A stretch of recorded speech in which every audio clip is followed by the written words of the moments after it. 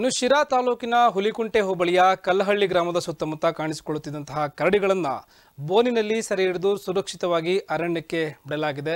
ಇನ್ನು ಕೆಲವು ದಿನಗಳಿಂದ ಈ ಕರಡಿಗಳು ಗ್ರಾಮದ ಸುತ್ತಮುತ್ತ ಜನರಲ್ಲಿ ಆತಂಕವನ್ನು ಸೃಷ್ಟಿ ಮಾಡಿದ್ವು.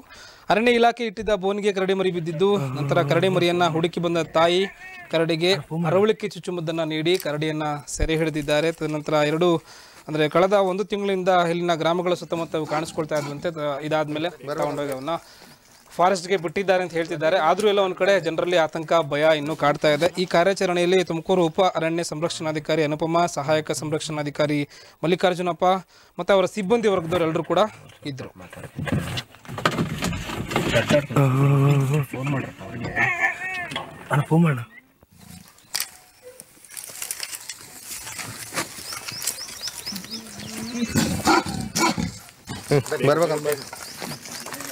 ಅಣ್ಣ ಫೋನ್ ಮಾಡ ಬರ್ಬೇಕಮ್ಮ ಕೊನೆಗಿಲ್ಲಿ ಹಾಕ್ಬಿಟ್ಟ ಮೇಲೆ